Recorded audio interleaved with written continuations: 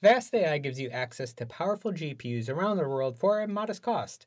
In this video, I'll be walking you through how to set up Comfy UI on an instance in Vast. Let's take a look. So to get started, you'll want to simply click on the console link in the upper right hand corner and create an account and add some funds if you have not done so already.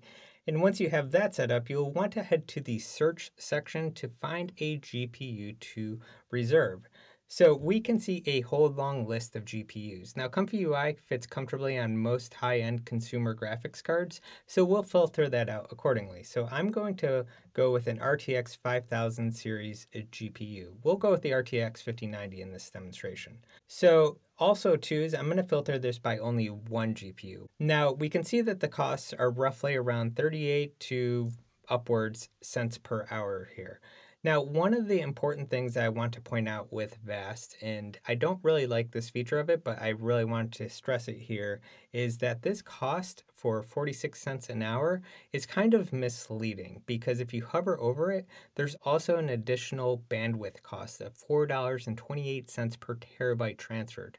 If you're working with large image models like WAN 2.2 Animate, Qwen Image Edit, those costs can actually eat into your balance quite a bit. So what I strongly recommend before you select a GPU is to make sure that you turn down this terabyte cost per upload speed um, down significantly. So then we will only find affordable and more price transparent GPUs. Now, before we reserve a machine, you're going to want to make sure that you have the right template selected. So if you don't see Comfy UI up here, you probably won't, that's okay. Just simply click on the change template and then search in Comfy UI. And we're going to go with this official one from Vast AI because it works well. And then tweak this container size to 200 gigs. Typically anything north of 100 gigs will be fine, but just for this demo, we'll go with 200.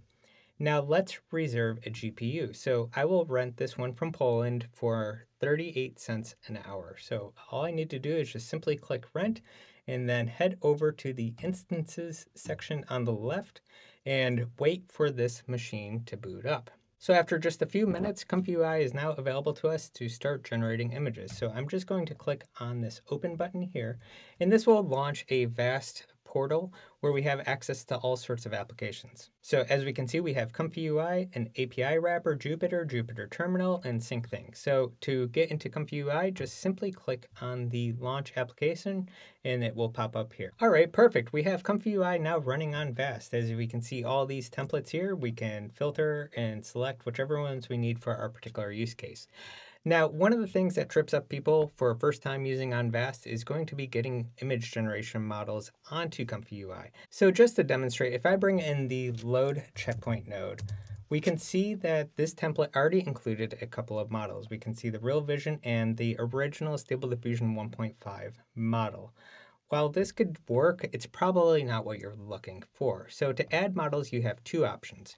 You can go through the Comfy UI Manager, go to the Custom Nodes Manager, and then just simply search Comfy UI Model Downloader.